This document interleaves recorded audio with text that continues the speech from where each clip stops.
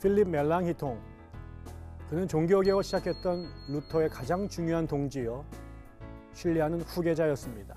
멜란히톤은 루터와 함께 독일의 종교개혁을 이끌었으며 루터 사후에도 개혁의 지도자로서 끝까지 자신의 자리를 지켰는데요. 그가 바로 오늘 우리가 살펴볼 인물입니다. 1497년 2월 독일 브레텐에서 태어난 멜란히톤은 그야말로 천재였습니다. 12살에 하이델베르크 대학에 입학해서 2년 만에 학사 졸업장을 받았고 2년 뒤에는 튀빙겐 대학에서 석사 학위를 받았습니다. 그리고 21세 때인 1518년 비텐베르크 대학의 그리스어 교수로 취임해 마침내 루터와 인연을 맺게 되었죠.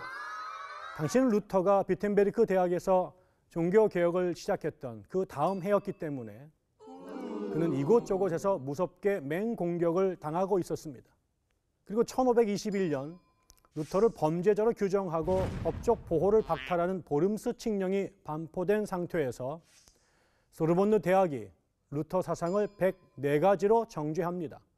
이때 멜란히톤은 파리의 멍청한 신학자들의 광포한 칙령을 논박함 이란 제목의 글을 발표함으로써 루터를 옹호하고 소르본느의 신학자들을 신랄하게 비판했는데요. 이처럼 멜랑이토는 루터의 종교 개혁을 치밀하게 이론화하고 교리화하는 데 앞장섰습니다. 그 중에 개신교 최초의 조직신학 작품이자 루터교 신학의 최대 걸작으로 평가받는 신학 총론은 죄와 율법, 은총, 성례전 등 이런 문제들을 바울 사상에 기초하여 구체적으로 설명한 책입니다.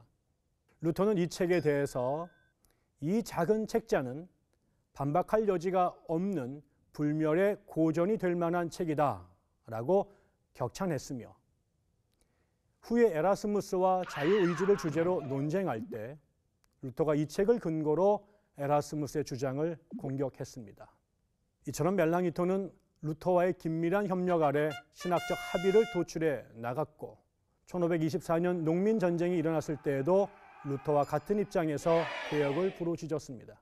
그러던 1530년 신성 로마 제국 황제인 카를 5세가 종교 문제로 인한 제국의 분열을 막기 위해 아우구스부르크에서 제국 의회를 소집하여 개신교와 가톨릭 양측에게 자신들의 신앙 고백서를 제출하도록 명령했습니다.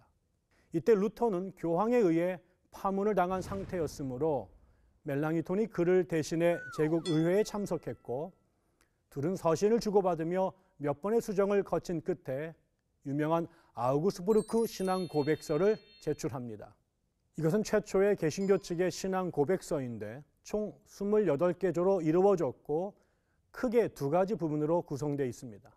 앞부분인 1조에서 21조까지는 종교개혁자들의 신앙과 교리를 기술했고 뒷부분인 나머지 7개 조, 즉 22조에서 28조는 가톨릭의 오류를 비판했습니다.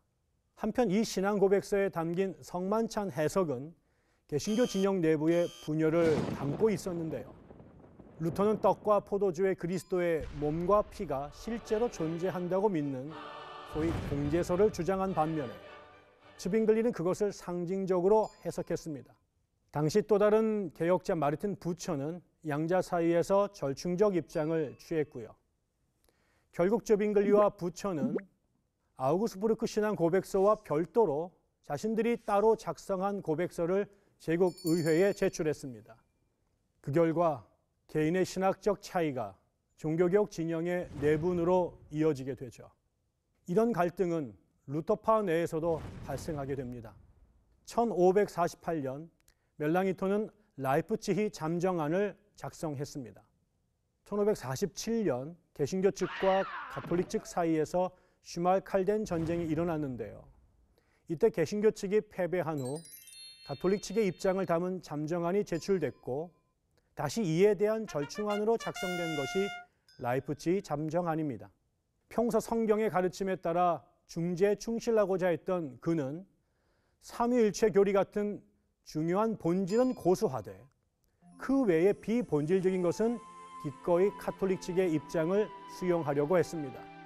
그러자 이를 타협이라고 판단한 루터 추종자들은 멜란히톤을 맹렬하게 비판했고 루터의 후계자였던 그는 루터파 내에서 지도력을 상실하게 됩니다. 결국 그는 분열의 아픔을 겪으며 1560년 63세 나이로 생을 마감했고 평생 동지였던 루터의 묘 곁에 묻힙니다. 당대 그는 최고의 자리에 오르지 못한 채 역사에서 사라지는 듯 했으나 후대는 그를 기억했습니다. 독일에서 일어난 종교 개혁은 루터가 선두에서 개혁을 외치며 장벽을 허물면 멜랑이톤이 뒤따르면서 길을 닫고 정리하는 형태로 진행되었다고 해도 과언이 아닙니다.